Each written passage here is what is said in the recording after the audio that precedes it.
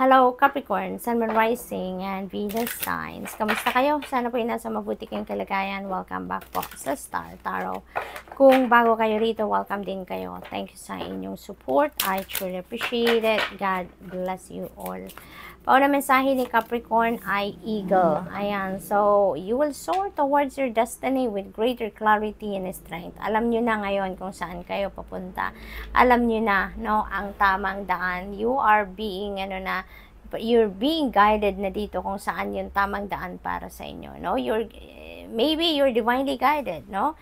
Capricorn, you're being shown the way or the right way or the right path is being shown to you at this time with greater clarity. So, napakaganda kasi ginagabayan kayo ng universe ngayon kung saan kayo dapat pumunta. What else? We have Dragonfly. Dragonfly resonates with change as well. So, maaring may mga pagbabago dito na mangyayari sa buhay ninyo. May mga transition na magaganap sa buhay ninyo at this time. Uh, this is also a great time for for kasiyahan, for joy, for happiness, no, for renewal. And you know what, most importantly dito, yung connection ninyo with God, yung connection ninyo with your with the spirit realm, you know, is going to be stronger sa ngayon. Maybe ang iba sa inyo is taking more time ngayon para sa pag-reconnect or pag-rebuild ng inyong relationship with God and and uh, the spirit team, no? So good luck, Capricorn. We have Moon, ayan, speaking of uh, divine guidance, ito na yung Moon energy. So, may downloads, may divine guidance na binibigay sa inyo ang universe dito. So, pay attention to your intuition, okay? Pay attention to your intuition dahil may mga importanteng guidance na pinapadala sa inyo. May mga importanteng gabay na itinuturo sa inyo sa ngayon. So, pay attention to that because it's a must, no? Parang it's a must. Kailangan, kailangan ninyong ma-access ito. Kailangan, kailangan ninyong mapakinggan ito because this is very important, no? Na ma-pick up ninyo ito because maybe may mga importanteng pagbabago or maraming pagbabago ang maaring magaganap sa buhay ninyo. Kaya importanteng makuha ninyo kung ano yung bulong ng inyong intuition dito. Because yung intuition natin, you know, that is a direct message from the divine. Okay? We have chariot and you are moving moving on, no? This is a moving on energy. This is also a travel energy. So, ang iba sa inyo din dito, maaring may relocation, ano? Maaring merong relocation, maaring merong pagbabago ng iyong tirahan, magbabago ng opisina, ng trabaho, ng employer, maaaring ganun ang ganap. This could be travel, no, na related sa iba't ibang bagay, maaaring related sa trabaho, career ninyo, negosyo, or, you know, uh, maaaring pasyal. So, depende sa inyong sitwasyon, but there could be travel for some of you. Okay? So, ngayon, kung saan kayo patungo, no, meron, kayo, meron mga bagong endeavor dito si Capricorn na gagawin. Maaaring meron mga bagong business venture kayong gagawin, new endeavors, new plans na gusto ninyong i-roll out sa ngayon. At ano kayo, you have full confidence, no, dyan sa mga bagay na yan. So, ang maganda rin dito, Capricorn, ano, kasi kung ano, kung saan man kayo patungo sa ngayon, where you are heading right now, ano mang klaseng endeavor ang pupuntahan ninyo, charge kayo with confidence, charge kayo with focus, with determination. Kaya most likely, pagtatagumpayan ninyo kung ano man ang ang endeavor na to na pupuntahan ninyo, no? Kung ano man ang pagdedesisyonan ninyong gawin, uh, tahaking path sa ngayon, you can expect siguro success on that, no? So that's really beautiful. We have flowers, ayan. So this is such a beautiful energy kasi there is success and emotional fulfillment na naghihintay sa inyo sa ngayon. So most likely, no, kung ano yung papupuntahan ninyo dito with the chariot energy, kasi meron kayong endeavor dito na sisimulan eh. Kung ano yan, that could be successful that will be uh, bringing you siguro emotional fulfillment din. So most likely talaga mag magsasucceed kayo diyan. Maari din kung ano man ang gagawin niyo diyan, yan ang yan ang passion niyo. That's where your passion is. No? Kaya magkakaroon din kayo ng emotional fulfillment dito with what you are going to do. We have judgment energy. Ayan, soul searching, no? Ang ganap ng iba sa inyo dito, Capricorn, no? Maaring ang iba sa inyo dito is focused on um, looking for your purpose sa ngayon. Maaring mas malalim ngayon ang ang mga hinahanap ninyong dahilan, 'di ba? Bakit kayo nandito? Alam mo 'yun, yung parang you are you are uh, searching for your soul, you're searching for yourself. Maaring ganun ang ganap dito for some of you. Maaring may pinagdadaan ng spiritual awakening ang iba sa inyo sa ngayon, maaaring nasa spiritual journey ang iba sa inyo ngayon, kaya mas malalim ngayon yung mga iniisip ninyo, mas malalim yung mga nararamdaman ninyo, so that is also possible. So good luck, no, Capricorn. That's all I have for you for today. Thank you for watching Love and Light. Namaste. Hello, Virgo, Sun, Moon, Rising, and Venus signs. Kamusta kayo? Sana po yun nasa mabuti kayong kalagayan. Welcome back po sa Star Tarot. Kung bago kayo rito, welcome din kayo. Thank you sa inyong support. I truly appreciate it. God bless you all. Virgo, wow, napakaganda. You are embarking on a new beginning dito, Virgo, no? Kung ano man ito, maaring this is totally new for you. This is definitely uh, an, an uncharted territory for you, no? Super bago ito para sa inyo. That's why you're going to uh, take on, on a new adventure dito, no? You are, baon-baon ninyo dito, yung tibay ng loob, tatag ng dibdib ninyo, handa kayong harapin kung ano man ang meron dito sa sa bagong sitwasyon na to na na, na i-embrace ninyo sa ngayon. So this could be also uh, something na magte-take risk kayo, no? Uh, maaring in the past takot kayo pasukin ang ganitong sitwasyon pero ngayon handa na kayo buo na ang inyong loob and you are going to to take risk. Now you are going to take that leap of faith na sa ngayon Virgo. So good luck po. Uh, that could be anything. Now that could be in any area of life. Maaring you're going to ano, you're going to uh, embark on a new beginning uh, pagdating sa trabaho, karera, negosyo, relationship, maaring bagong commitment ito or bagong level ng inyong commitment with your person, maaring ganun or totally a, a different ano, a, a totally a different kind of relationship siguro ang ang papasukin ng iba sa inyo dito. Uh, we have owl and there are spiritual messages, no? Uh, na pinapadala sa inyo ang Divine Universe dito. And as you, uh, as you transition from one uh, situation to another dito, maraming wisdom, marami kayong learnings dito na mapupulot sa during this change, no, sa buhay ninyo Virgo. At uh, as you navigate this change then sa buhay ninyo, make sure that you are ano uh, uh, listening and following what your intuition is telling you because it will always send you a signal kung ano ang dapat ninyong gawin. It will always send you a signal kung saan kayo dapat uh, maglugar, no? Yung ganon. So, good luck po. We have thorns, ayan, withering the challenges ahead will bring in new and positive future. Kaya, kung ano man, ano, ang ganap dito along that journey dito, lalo na sa full energy, sa bagong sitwasyon na papasukin ninyo, kung ano't ano man, ano, ang mga challenges na nandiyan na maaaring ma-pick up ninyo or maaaring ma-encounter ninyo, you know, huwag kayong susuko. Never give up. Now, giving up is not an option in any case, Virgo. Lag, yan ang lagi-lagi ninyong tatandaan. Dahil habang may buhay, ano, may pag-asa. Hindi ba?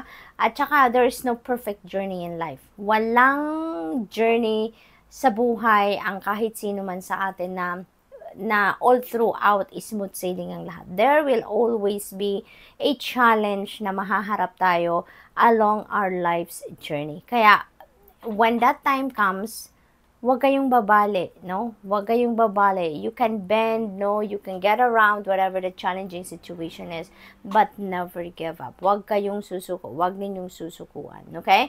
And there are a lot of lessons na mapipick up ninyo along that journey, no? Marami din kayong wisdom na matututunan dyan, no? That is the purpose of the challenges sa buhay natin, no?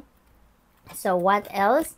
We have lovers. Ayan. So, maaaring meron ditong uh, mag, magkakaroon ng bagong karelasyon or maaaring you are entering a new love and romantic relationship.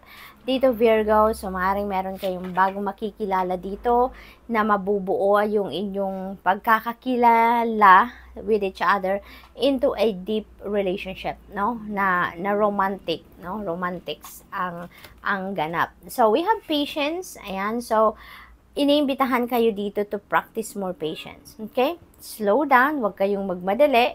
Um, pa, linawin muna, palinawin muna ninyo ang inyong isipan, pag-isipan mabuti. This could be related to a decision making na kailangan ninyong gawan in terms of this lover's energy. Or pwede rin na, na dito sa bagong papasukin ninyong sitwasyon. Kasi maaari din ang papasukin ninyo ditong sitwasyon is a new love and romantic relationship. No? Of course, this is not going to resonate with everyone. So just take as it resonates po. No? So wag kayong magmadali. Okay? Yun ang, yun ang napipick up ko dito. Do not rush into things dito. Pag-isipan ninyong mabuti, pakinggan ninyo ang iyong intuition. Are you doing the right thing? no? Yung ganon. So, slow down, okay? Um, kalma lang, no? Chill lang muna, Virgo, at makinig kayo sa inyong uh, intuition, okay? Napakaganda, your wish is coming true. Yay, Virgo! Let's claim this energy. Let's align our, ano, our energies na, our thoughts, our feelings, our emotions with this wish energy at anuhin natin ito uh, karirin na natin ito, no? Na pag, pag, pag uh, claim sa, sa energy na to because your heart's desire is ready to come true. So, kung ano man ito, nakahanda na tong ibigay sa inyo ng divine universe. Kung ano man yung top of your wish ninyo or top uh, priority ninyo, kumbaga, maaring yan na ang ihatid sa inyo, Virgo ng divine universe at this time. So, let's claim it and let's align our energies with this wish uh, coming through ni energy. So, good luck. That's all I have for you for today. Thank you for watching Love and Light. Namaste. Hello, Taurus. Sun, Moon, Rising, and Venus signs. Kamusta kayo? Sana po yung nasa mabuti kayong kalagayan. Welcome back po sa Star Tarot. Kung bago kayo rito, welcome din kayo. Thank you sa inyong support. I truly appreciate it. God bless you all. Pauna mensahe ni Taurus, marriage. Taurus, may, magka, may magpapakasal na dito sa inyo, no?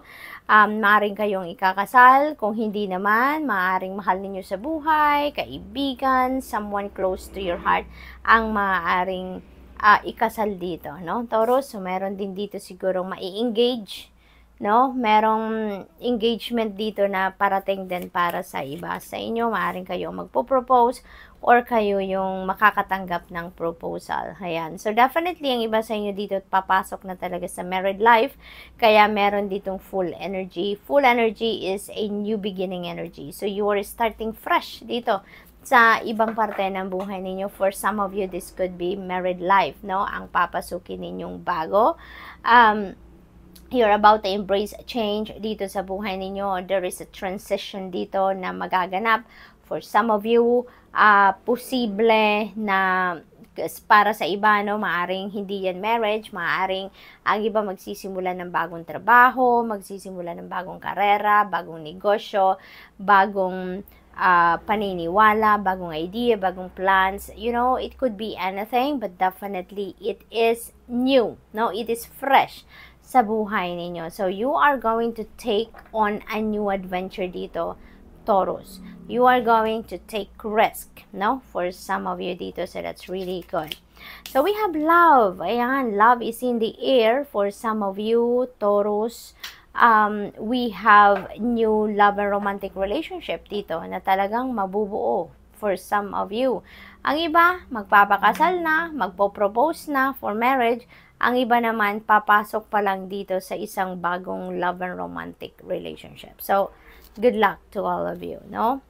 But definitely, love is in the air. You know? Parang February feels lang ito. so, what else? Unity. Holy moly, parang naging love reading na ito, Taurus.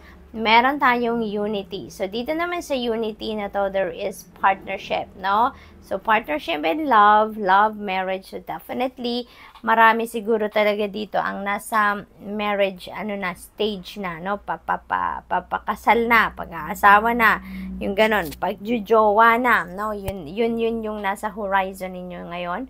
For others of you, this is, uh, partnership in in a project. This could be a partnership in business. This could be a partnership in in uh, in trabaho yung gano'n ano sa opisina. Maaring meron na kayo magiging ka-collaborate. Maaring gano'n ang ganap so definitely there are um, partnerships na magaganap in in various areas of life. Ang maganda rito no? Kasi kung ano klaseng partnership ang papasukin ninyo dito, magkakaintindihan kayo na kung sino man ang makakapartner ninyo.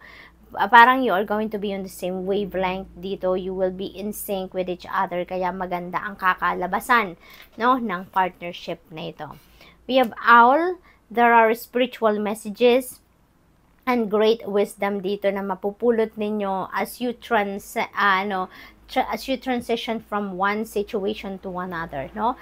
Marami kayong matututunan dito, marami kayong mapupulot na wisdom and life lessons, no? Na mas magpapalakas pa ng inyong relasyon sa, sa kung sino man dito ang meron kayong relationship with, no? Kung paano ninyo tatahakin ang bagong sitwasyon na to sa buhay ninyo, you know, you are going to learn something from that. You are going to uh, apply the wisdom na napulot na ninyo in the past, mga lessons learned na ninyo in the past, you would be able to ano to apply that to this new situation sa buhay ninyo, Taurus. So that's really good. We have abundance, Taurus. This is beautiful. Hindi lang ito abundance of money, hindi lang ito success, hindi lang prosperity ang parating sa inyo. Love pa rin, ba? Abundance of love nandito talaga. You're going to be using with love, you're going to be oozing with with compassion, yung ganon. So, napakaganda ng inyong sitwasyon sa ngayon. Talagang siksik, liglig, umaapaw ang pagmamahal, pag-ibig. Kaya naman, di ba, kapag in love ka, kapag inspired ka, tumataas yung yung level ng inyong happiness and joy. And with that, when you're happy and joyful, excited, tumataas din ang vibration ninyo. And when your vibration is high, nag-a-attract kayo niyan ng more positive situations into your life. Kaya maraming abundance, prosperity ang parating sa inyo, successes, good news, wonderful opportunities ang maaaring lumapit sa inyo sa ngayon. So good luck and that's all I have for you for today. Thank you for watching Love and Light. Namaste.